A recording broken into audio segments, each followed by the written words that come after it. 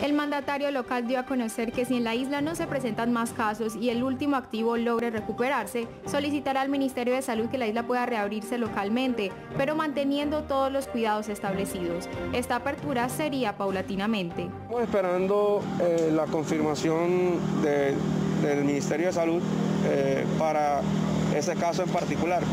Si nos queda, ese caso nos aparece como recuperado, desde luego que nosotros de manera inmediata solicitaremos al Ministerio del Interior y al Ministerio de Salud para que nos permitan reaperturar la isla en el sentido de, lo local, no, no, no turismo, nada de turismo, nada de eso, sino que recobremos la vida normal, pero la vida no va a ser normal de aquí en adelante porque nos va a tocar utilizar tapabocas prácticamente como algo indispensable antes de salir de las casas.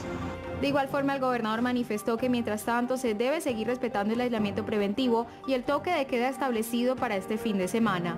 Mientras estamos en el hoy, en el hoy tenemos que seguir cumpliendo, perdón, el aislamiento preventivo obligatorio y en la medida en que lo sigamos haciendo podemos superar prontamente esta difícil situación y así poco a poco pues reaperturar. Pero hoy sí pido disciplina, comprensión de que lo que estamos haciendo es precisamente evitar la propagación del COVID-19. Recordemos que si de darse esta apertura será necesario mantener protocolos de distanciamiento social, tapabocas y el correcto y recurrente lavado de manos.